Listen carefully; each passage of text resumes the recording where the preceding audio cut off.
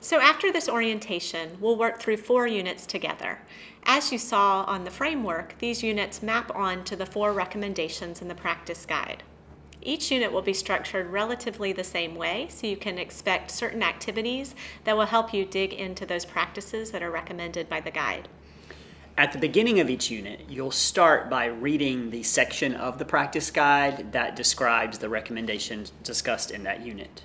After that, you'll try out some of the content yourselves through some interactive activities that we've designed for you.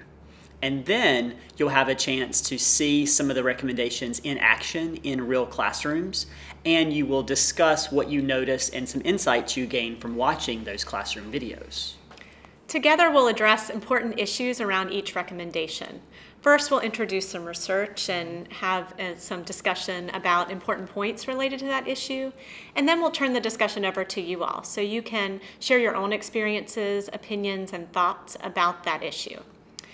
Um, we always want to hear from our expert panel to learn a little bit more about what went into the, to the recommendation and how those experts see the recommendation being put into practice in classrooms. And every unit will feature an opportunity for you to demonstrate your own learning, to show what you're taking away from the unit, and how you're applying that knowledge to students and to classroom practice. We also feature opportunities to dig deeper into the content.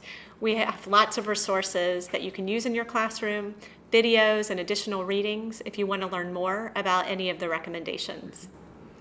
So now that you've had a chance to get to know us a little bit and to understand more about the structure of this course, we invite you to um, finish up the orientation unit by introducing yourself so that we can get to know you. And if you wouldn't mind, we'd love for you to share some of your own personal goals for why you've chosen to join this MOOC Ed.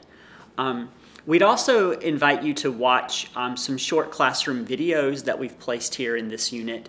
And we want you to discuss some of the similarities and differences that you notice between these teaching practices and the teaching practices that you're using in your own classroom.